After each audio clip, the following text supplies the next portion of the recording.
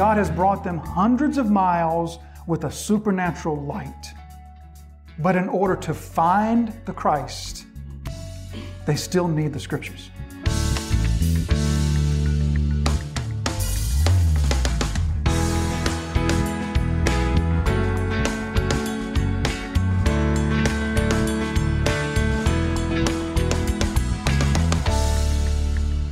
They, they say to him, We saw his star when it arose, and we have come to worship him. So let's look at that phrase. We saw his star. Notice there, they don't say we saw the star.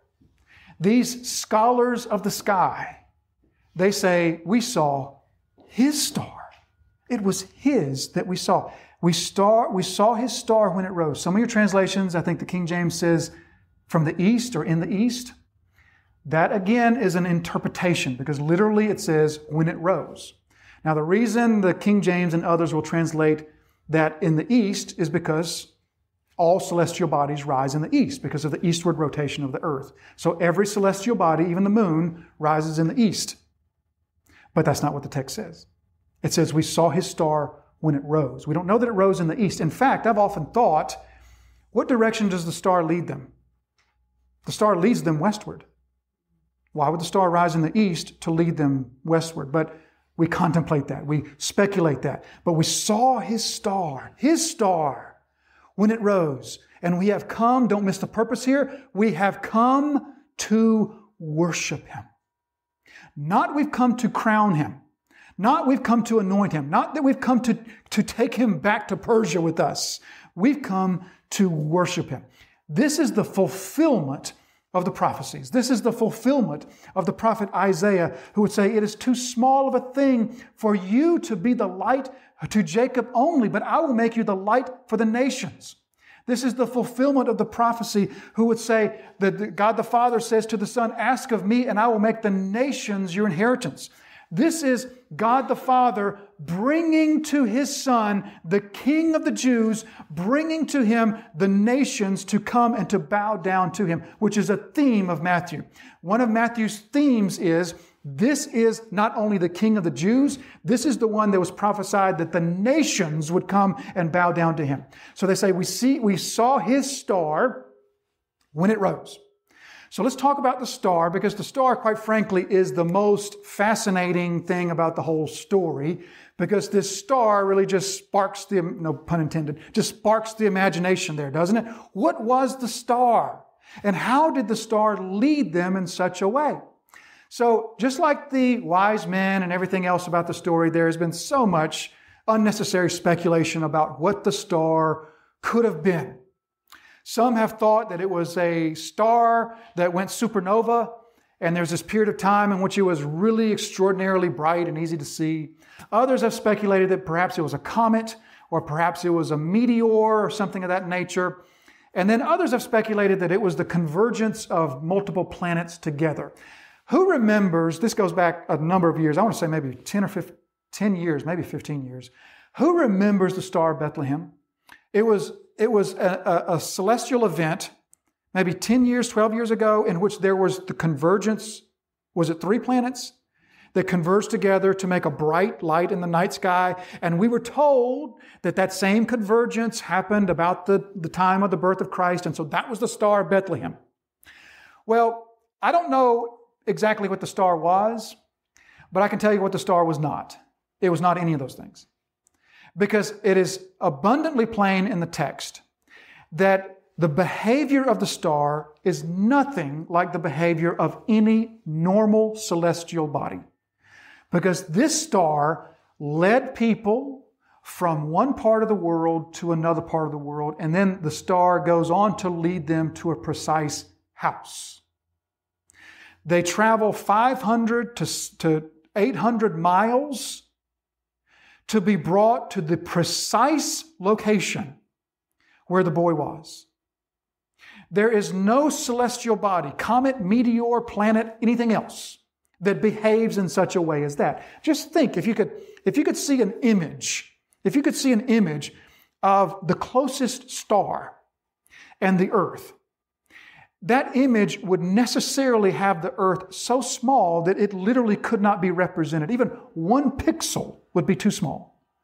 Because of the expanse and the size, there's just no way that a celestial body, a normal celestial body, will behave in such a way.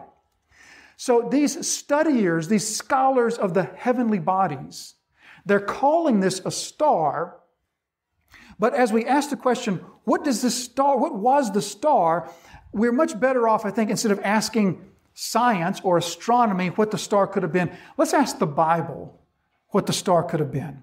And let's see if the Bible can tell us what the star possibly was. Well, as we turn to the Bible and we ask, well, what sort of light in the sky could have been the light that was guiding these magi? We come to find, first of all, that there are numerous places in the Old Testament in which the prophets will speak of lights in the sky in ways that are divine and messianic.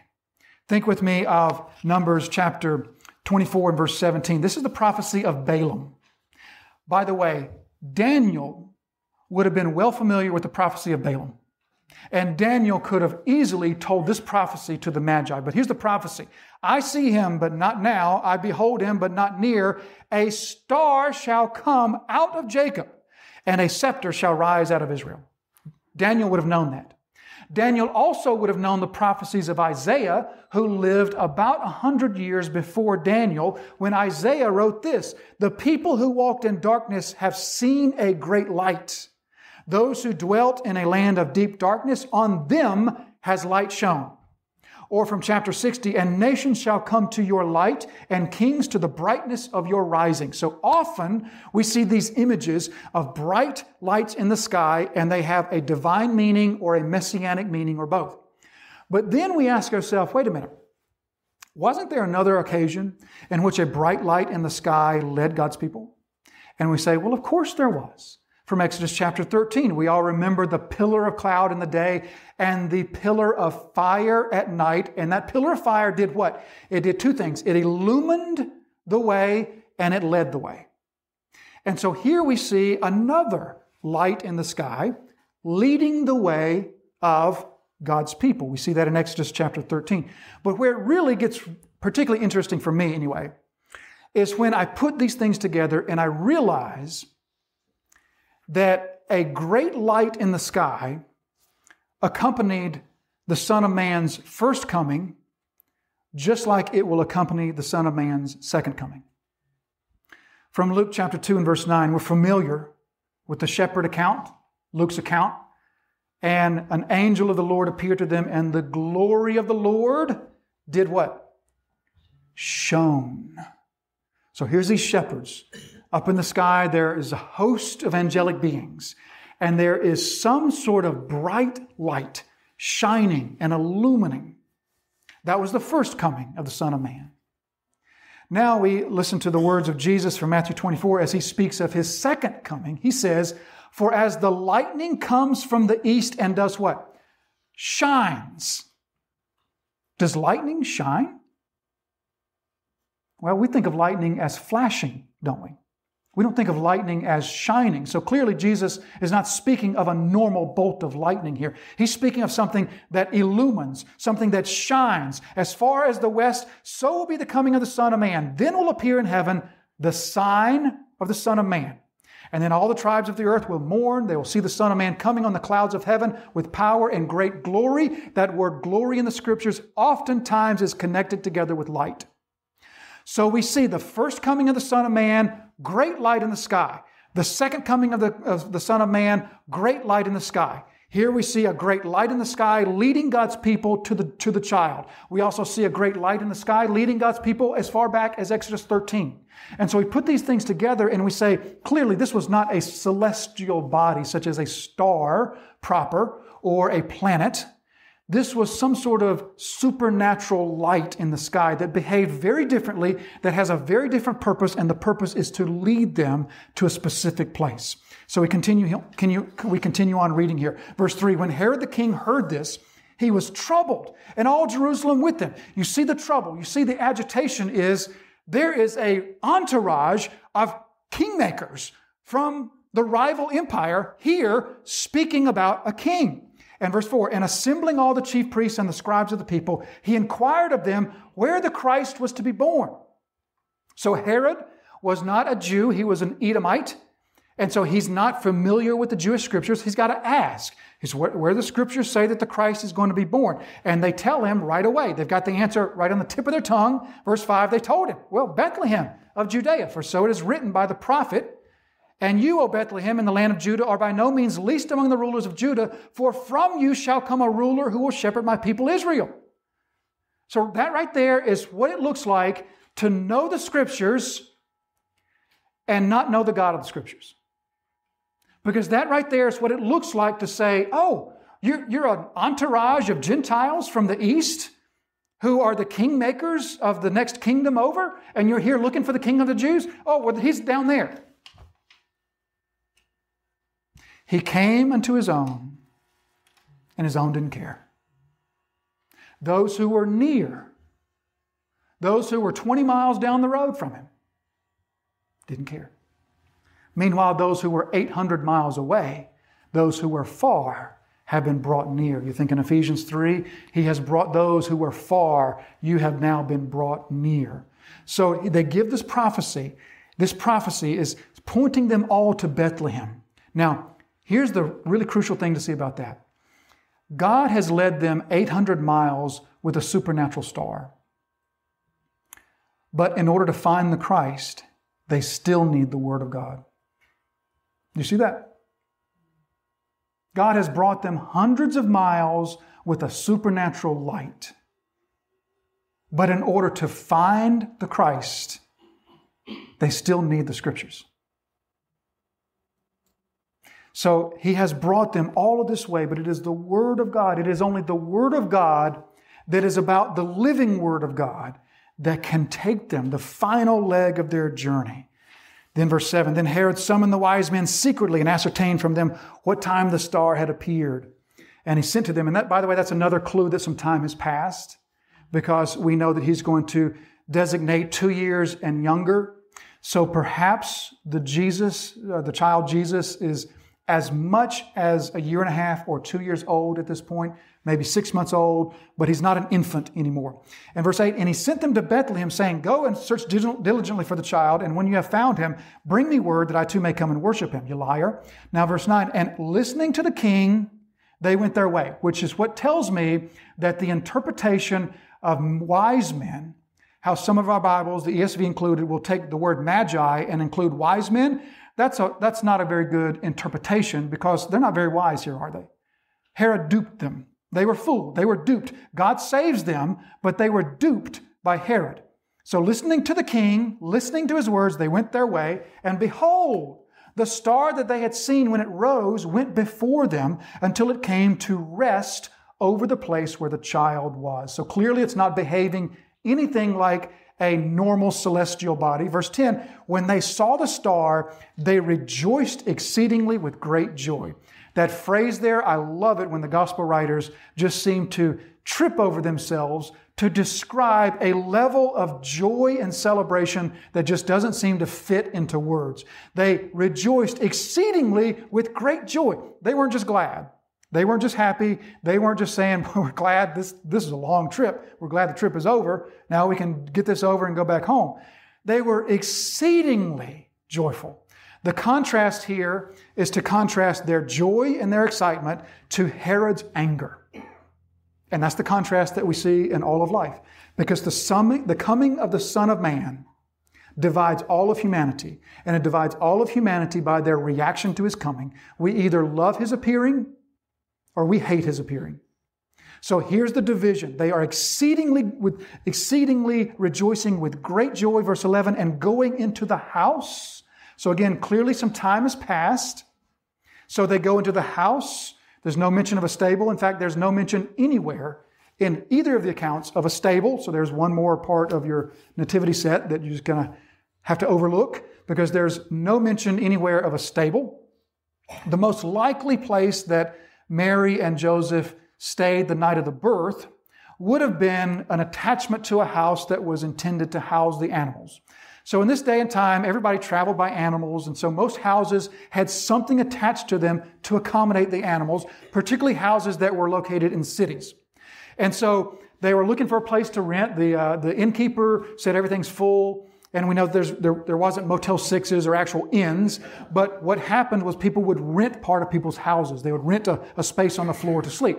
So the regular part of the house was full, so most likely they were given the part where the animals were, which is why the manger was handy to put the, the, the infant in, the infant Jesus when he was born. Now, now maybe the census has all been wrapped up and the big influx of people into Bethlehem from the census, all that sort of passed now. And now the house that they were staying in the animal portion of, maybe, maybe now they've moved into the inner part of it, or maybe they've moved to another house that became available. But whatever the case may be, it's not a stable, it's not a cave, it's a house. Going into the house, they saw the child with Mary, his mother. So, two things to make note of there. One is the word translated child, is the word paidion. And that word is always translated young boy or servant. So it's never the word for infant or newborn. It's either the word for young boy or most, most commonly servant. So Jesus is at least a few months old by this point. The other thing to see is they saw the child with Mary, his mother. Now, it might not seem like a, a big thing to take note of here, but it is worth our observing that every time Jesus is mentioned together with his mother, he comes first. It's never Mary and the child. It's always the child and his mother. Just one little clue there that the gospel writers are saying which of the two was the important one. They saw the child with Mary, his mother, and they fell down and they worshiped. What's that next word? Him. That right there, it's easy to look over this, but that right there is the clearest refutation of the heretical Roman Catholic doctrine of Mary. Because if there was ever an instance in all of your scriptures in which God wanted to say to us that Mary holds a special place, this is it. If there was ever an instance in which God wanted to communicate that Mary is deserving of some sort of special attention or something bordering on worship, here are the people from the east, and the child is still small. And there's the caretaker, there's the mother, there's the mother of God. And yet their worship is not directed toward her at all. They fall down and they worship the child. So they worshiped him, then opening their treasures, they offered him gifts gold, frankincense, and myrrh. So all three of these gifts are prophetic. We could spend a whole message on the gifts, but we won't do that. We'll just go quickly through the three gifts the three gifts gold, first of all, gold was the gift of kings. That was the property of kings. And these are the kingmakers coming to the king. So it's appropriate to give him gold, which, by the way, many people speculate that Joseph and Mary, who are destitute at this point, you know, they, they couldn't afford the lamb for the sacrifice, so they gave the dove. Joseph is out of work. They're about to flee to Egypt. So it's often been speculated that that was how, that was what financed their trip, which is quite possible. So they give him gold, they give him frankincense. Now, frankincense is a, an, an aromatic resin that is harvested from a special tree in Arabia. So it's not native to Israel at all, but it's native to Arabia. And the way that it's harvested is you would go to the special tree and you'd make a cut and go away for about 30 days. And that cut would then bleed resin and as the resin bled out, it would crystallize on the outside. It's pretty, pretty fascinating, actually. It crystallizes on the outside, and then it continues to bleed resin on the inside. And the crystallized outer part keeps the resin on the inside liquid. And then you go and you pull the bulb off. It's in balls. You pull this little ball off, and it's hard crystal, crystal on the outside, but very aromatic resin on the inside. And so it is very aromatic, but only when it's crushed. And so there's something to do with the prophecy there. The, the God who would crush his son, and by the crushing of his son, the aroma of his sacrificial death is made known.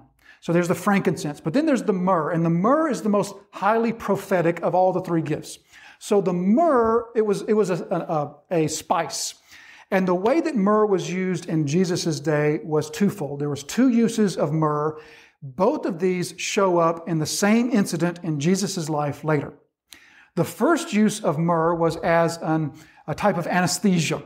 It could be taken orally and it would produce some lessening of physical pain. And so you remember, as they offered Jesus on the cross wine mixed with myrrh, and he refused it. The second use of myrrh is it's very aromatic, very strong smelling, and so it was used as an embalming agent to disguise the odor of a decaying body. And you might remember, as Jesus was placed into the tomb, he was placed into the tomb with a large amount of myrrh to disguise the, the smell. So both of those uses of myrrh point to the same event in Jesus' life, his sacrificial suffering and death, and his being placed into the tomb. Now, there is a further connection that I find quite interesting. I'll share it with you. I find this quite interesting, and that's what the Hebrew rabbis understood myrrh as. The, the association that the Hebrew rabbis had with myrrh was to associate it not just with death, but with sacrificial death. And here's why. The word myrrh in Hebrew is mor, M O R. And you might be familiar with a mountain in Israel by the name of Mount Moriah, literally mountain of myrrh. What happened on Mount Moriah? Anybody remember? Abraham goes up the mountain to sacrifice his son, Isaac, and God spares him by supplying the ram. And so the rabbis had grown to associate myrrh with Abraham's act of sacrificial, sacrificially offering his son. And here are now the kingmakers saying, These are our gifts. All of these gifts speak to your kingship. They speak to your sacrificial death that is to come. And then finally, verse 12, and being warned in a dream not to return to Herod, they departed to their own country by another way. So God clearly communicates to the Magi through means other than the star. He communicates them to, the, to them through their dreams, and he communicates to them to leave and depart by another way. So just one last observation. And this is an observation that many have made. It is to say this what Matthew means is they went home a different direction. But can't we also see something else in there that tells us once the Magi have found the Christ, their way is different now? Can you see that? They find the Christ, but they don't go home the same way they came. And isn't that metaphorically speaking something to us about our encounter with Christ.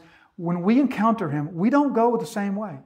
We don't go home the same way we came. We don't leave the same way. We're not the same people. We truly are, 2 Corinthians 5 and verse 17, new creations in Christ.